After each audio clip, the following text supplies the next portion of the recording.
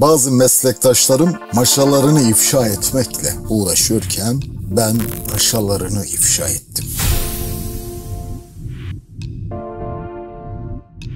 Bir haber yapmıştım. Bu insanlara dikkat edin demiştim.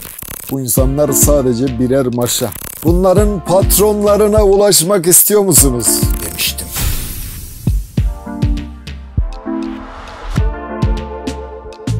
Bu insanların arkasındaki güçler FETÖ'nün medya imamı Aydın İpek işleyen ve FETÖ'nün kozmetik imamı Nurullah Çiftçi'dir demiştim. E bu insanlar kimdi? Bu insanlar sapık Ferhat'ın patronlarıydı demiştim.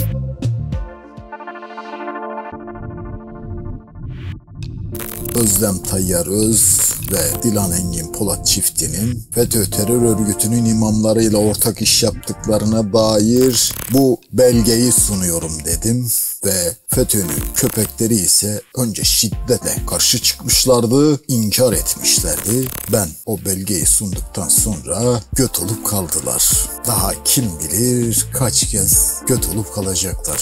Biz gerçekleri ortaya çıkarıyorken bu teröristlerin de bir hamleleri vardı. Neydi? 15 tane gazeteye para vererek yalan haberler yaptırdılar. Benim daha önce videosunu yaptığım ve bu kişilerin azmettirmesiyle infazımın istendiği bir olayı mizansel bir şekilde anlatıyorken onun içindeki 7 dakikalık bir videonun içindeki 30 saniyeyi kırmışlar ve Yusuf Özyıldırım bizde şantajla bir şeyler koparmaya çalışıyorlar diye birçok gazete haber yaptılar. Bununla yetinmeyip beni savcılığa da şikayet ettiler. Yani ben bir suikast olayını anlatıyorum. Olayın içinde daha önce konuşmuşuz. Kardeşim benden gasp ettiğiniz malımın bedeli budur. Bunu vereceksiniz demişiz. Onlar da paramız yok demiş. Biz de demişiz. Şu an mahallemizde yaptığınız bir binanız var. O binayı vereceksiniz. 5-6 milyonda eksiğiniz kaldığı için onun yerine de bana bir araba verebilirsiniz dedim. Bunu haber yapınca bunlar kendince böyle bir misilleme yaptılar ama her zamanki gibi